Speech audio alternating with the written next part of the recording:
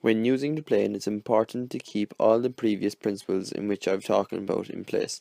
As you can see, I have the piece parallel to, in the vise and using the boxing stance. This is to provide good control and balance and accuracy over the tool and also over the piece of material. As you can see, I'm putting equal pressure from the toe all the way to the heel across the piece of material. This keeps the plane level on the piece and prevents you from rounding the corners. As you can see, my wrist, elbow and shoulder are all in one line. After planing, a shaving from the piece of material is provided. This shows if you are taking off equal material all the way across the piece as shown in the video. Another key principle in using the plane is in the direction of which you're planing. It is very important to always plane in the direction of the grain. So when you're planing, you're always planing with the grain as shown in the video. You In the video, you can see that this place that the grain is running parallel to the surface.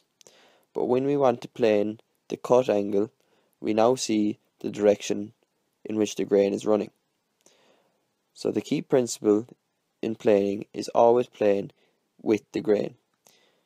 When we look at the top piece, we can see that when you're planing, that if you were planing against the grain, it would begin to chip up the fibers and provide a very rough finish.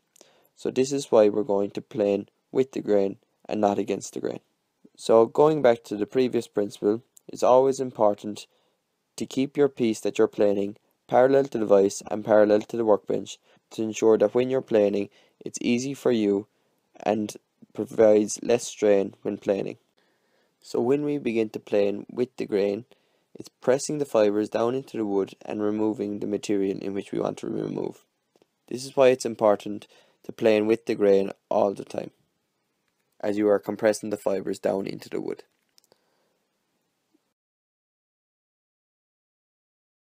So what would happen if you began to plane against the grain?